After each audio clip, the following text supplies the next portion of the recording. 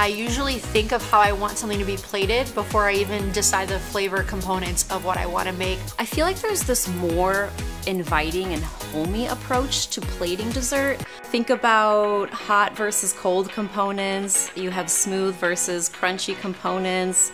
Um, things that are just like fun to eat.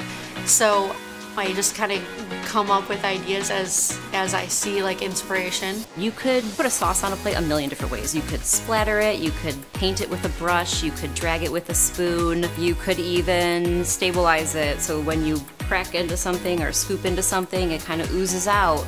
You can kind of do whatever you want. And your guest or whoever is eating the dessert still finds the beauty in what you're presenting on the plate.